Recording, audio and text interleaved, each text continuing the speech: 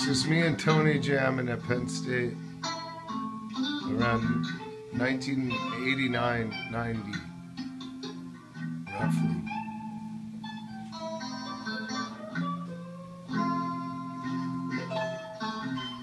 Tony lives.